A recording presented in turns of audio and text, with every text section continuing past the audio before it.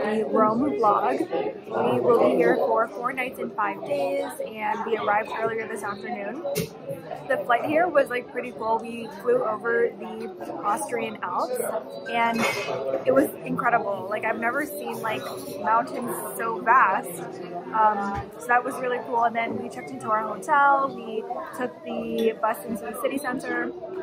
Um, we saw um, a few fountains, including the Trevi Fountain. Oh my gosh, so many people packed, um, but the fountain was very grand and beautiful. We also saw another fountain, um, and we also checked out a few um, churches as well. These churches are like so next level. The ones that we saw today um, had like the really like beautiful paintings on the ceiling, and it was like very like Leonardo da Vinci-esque. Um, but yeah, and then we also visited the Pantheon. And on one of the information boards, it said it was like 25 BC. So like that is that is really freaking old. Um, and uh, to wrap my mind around, you know, how these structures existed for so long. Um, yeah, it's it's been interesting so far, and it, it, gives like Paris vibes as well. It's like old, beautiful buildings. Um, and cobblestone streets. Um, so it's it's nice. Um, and oh, I forgot to mention that we're now at dinner, um, and we are at Il Chianti, um, as recommended by Jody. Thank you, Jody. And our food just arrived. Carbonara and beef with potatoes. It looks so delicious. Okay, we just finished dinner at Il Chianti and it was an amazing experience. The service was excellent. The servers were just so kind and very welcoming and amazing vibes. And the restaurant itself had a really good look and feel. And the food, of course, the food was amazing. Cameron's carbonara was probably the best we've ever had and my beef was really good as well and the value for that food was amazing. My beef was only 18 euros and his was 14, so it was like a very decently priced meal for how amazing it was. And on top of that, um, they also gave us an appetizer and dessert on the house. And sorry, the sirens are really loud, um, but it was a 9.5 out of 10, amazing. It would have been a 10 out of 10 if my beef was as out of this world as Cameron's carbonara, but still amazing. We would definitely come back to this restaurant again if we do ever come back to Rome. Good morning. Um, it is the next day and right here is the wall uh, to Vatican City. But our first stop is going to be St. Peter's Basilica. And apparently um, Peter's actually buried below the Basilica and the necropolis.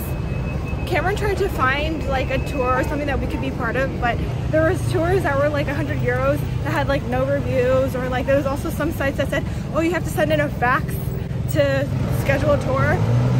So we couldn't do that, unfortunately.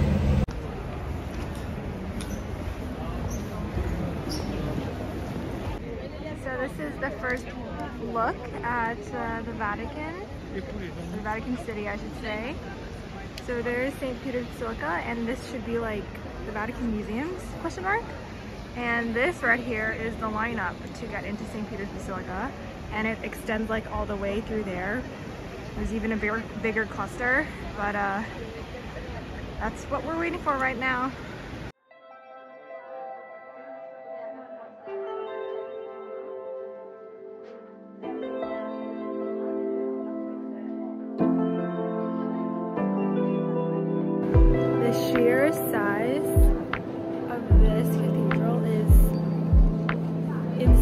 doesn't compare to anything else that we've ever seen before.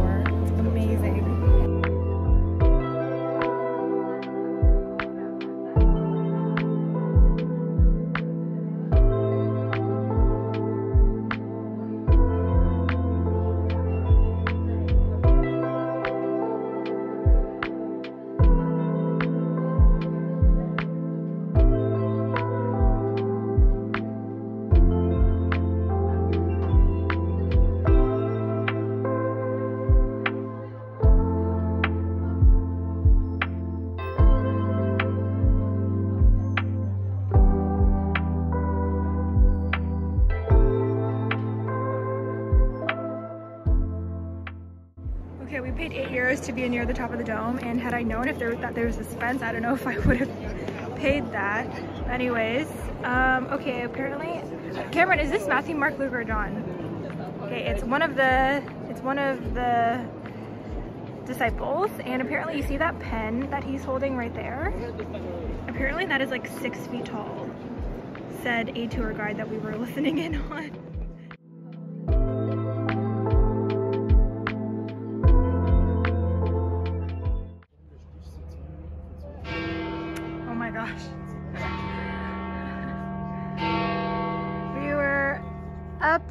Just now. Wow, that bell. I would say the eight euros is worth it. Okay, this is lunch. Apparently this is like really popular for breakfast. It looks like a bun with cream. There's another, it looks like a fritter with custard. We have these sandwiches and we have this ricotta pie with orange. Yummy.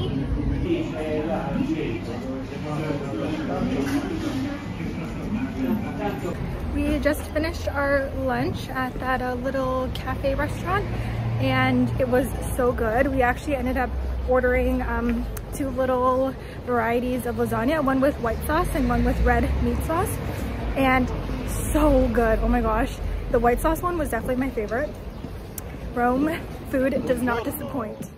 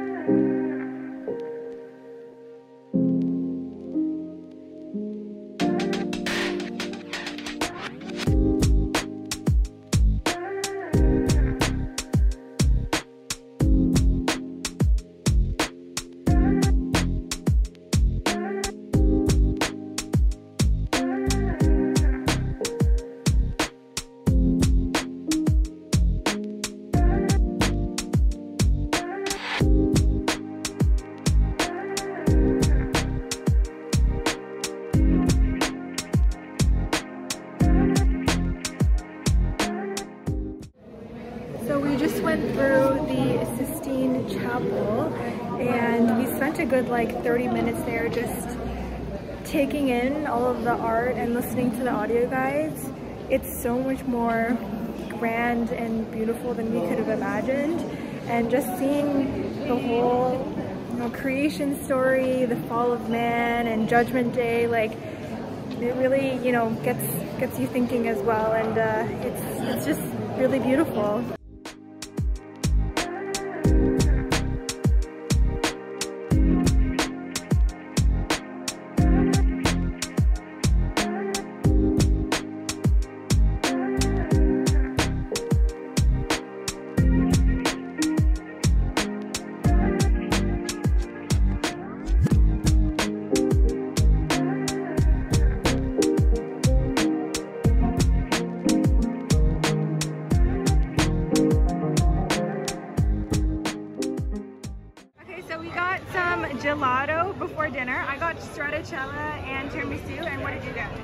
Pistachio, And I don't know what they're called.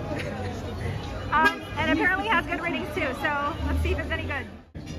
This is what is this? Oxtail and some vegetables. I did not picture that. This was like seven euros. And then I have fresh pasta with egg and black pepper. Good morning. We are starting our day in Trastevere. Um, and right here is the Tiber River. I'm definitely saying that wrong. Um, and we are just hanging around in this area and waiting for one of the restaurants to open because it was recommended by Vanessa to go. So um, hopefully that will be good. But anyways, today is going to be pretty busy. We're going to visit the Colosseum and the Roman Forum and we're going to take a tour to see those places. And uh, yeah, I'm sure there's going to be a lot of walking, but the weather looks amazing. It's been amazing so far. The weather is just perfect. Oh, and I want to also mention that we visited a church this morning and it was pretty different from the ones that we've seen so far. I feel like I say that about every church that we visit, but um, there were like gold columns and gold detailing everywhere. Um, and it was just so beautiful, like when the sunlight hit all of the details and all the gold um, embellishments. Like it was like it was dazzling and glowing. It was really beautiful. Okay, so we ditched the other restaurant. Sorry, Vanessa, because we have to eat sooner and the restaurant opens too late. And so we ordered pizza instead. So we, I initially thought this was pineapple and the guy was like making fun of me. It's not pineapple, it's, it's potato. And then here we have some zucchini sun-dried tomato. And then here we have um, sausage and ricotta and mushroom.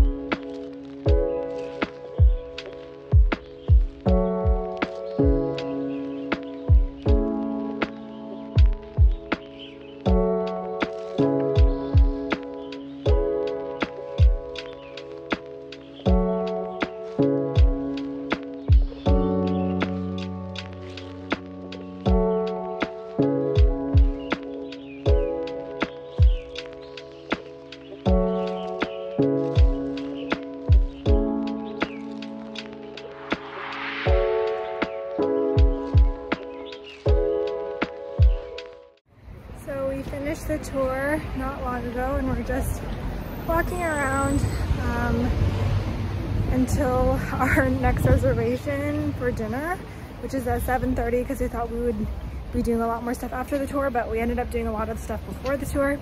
Anyways, we're trying to just kill some time. We're heading over to a church, take a break there. Maybe we'll do a little bit more walking and then hopefully get some dinner. Oh, and also with the tour, I do kind of wish that we didn't take the tour, like we visited um, obviously some of the, the big sites, but we don't really have the ability to control how much time we spend there.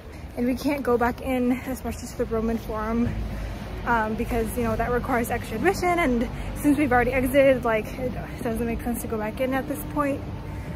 But anyways, we would have liked to spend more time at certain places instead of, you know, squishing everything within the tour. But it was still good, I guess. Don't regret it. We didn't have to wait in line for the Colosseum or any of the admissions, so it was still good. Okay, this is my dinner. It's seafood risotto.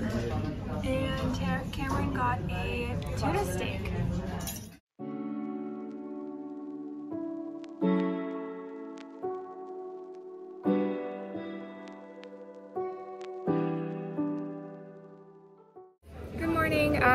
Today we're visiting the Tivoli Villas.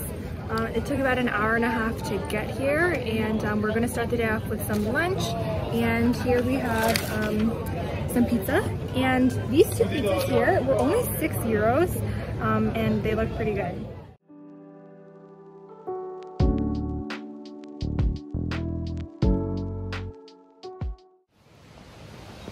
Hello, we just started our three hour hike through this villa and we're going to pass by a few waterfalls and hopefully get to the bottom of it to get as close as we can. But uh, yeah, this is one of the villas that we're visiting today and we're going to do another one as well.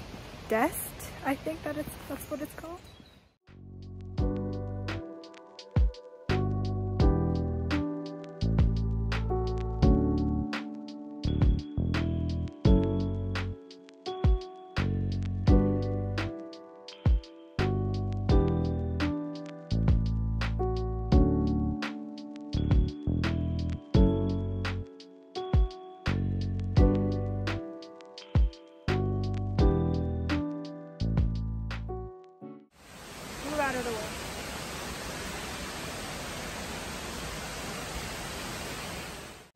So I didn't bring my curling iron to Rome because why would I?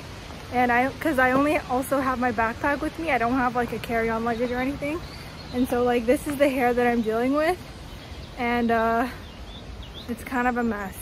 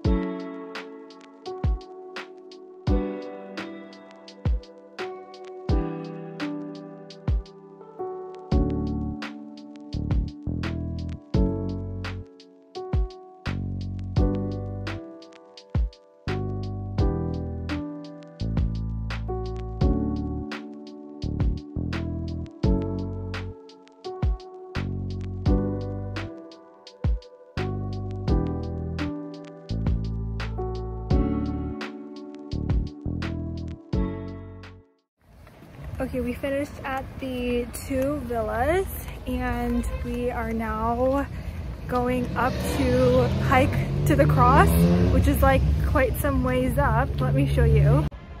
Do you see that right there? I think it should be about 20 minutes to get up there regular. We were there this morning at the first villa. Y'all, I was I was not made for this. There's like no path on the ground that we're actually walking and it's like it's not easy. The cross is right there, but I think I've hit my limit. There's like no path. I don't know. I don't think I can do it. And plus we have to catch the bus, so y'all, we made it.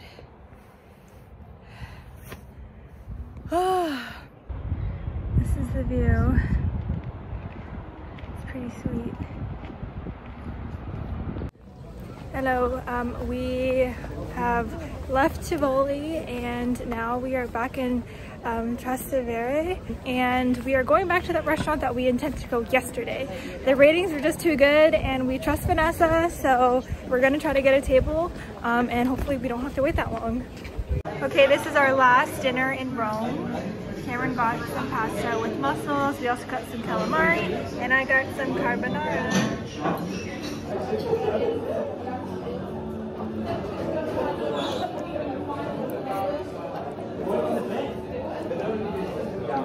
We just finished dinner and I'm so glad that we went early at around like five o'clock because by the time we that we finished, which was about six, um, there was a huge lineup and huge crowd outside. Yeah, we just went at a good time. And so next, since we are like, since the night is still pretty young, um, we are going to walk to the Colosseum and check it out um, because it would be lit up at night. So it'll be different from, you know, what it looks like during the day. And then that's pretty much it for tonight.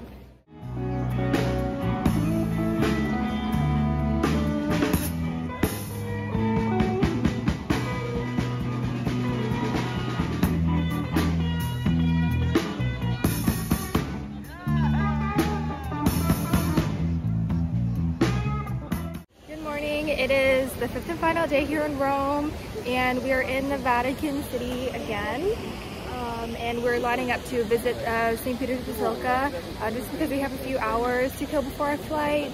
And um, yeah, we just really loved it here. So I think today we're going to do an audio guide just to really have a deeper understanding of the history and everything and the art. Um, so that's pretty much going to be it for today.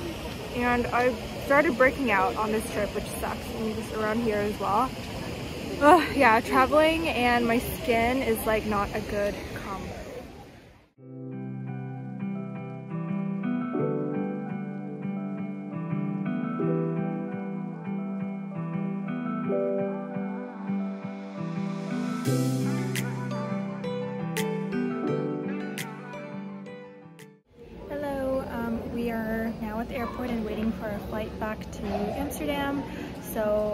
pretty much wraps up this vlog. Thanks for watching and I'll see you in the next one.